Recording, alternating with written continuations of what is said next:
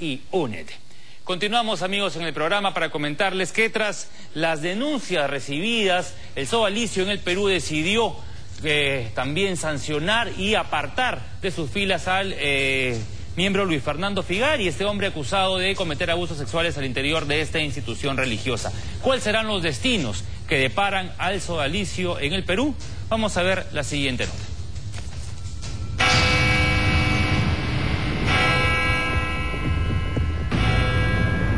Se autodenominaba la presencia de Dios en la tierra, pero hoy siendo uno más en la lista negra de acusados por abuso sexual de la Iglesia Católica, Luis Fernando Figari se ha convertido en un paria para su propia congregación.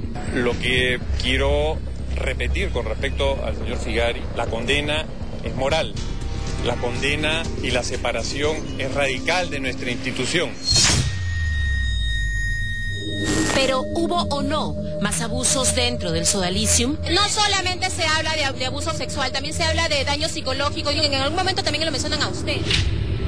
Porque estamos hablando de una organización hecha a la imagen y semejanza de un enfermo, de un depredador sexual.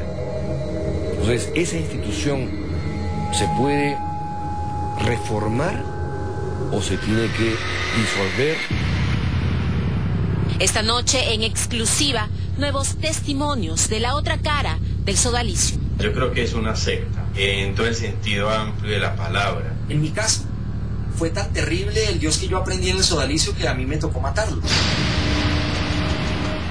Y en la nota completa esta noche, en día de con Pamela Vertis, ¿cuál es la verdad? Se ha abierto una investigación, hay una sanción real para estos depredadores, depredadores sexuales para, y hay una reparación acaso para estas víctimas que han vivido años en silencio, padeciendo y sufriendo lo que vivieron, el horror vivido en esa institución esa noche en día de. Ahora retomamos la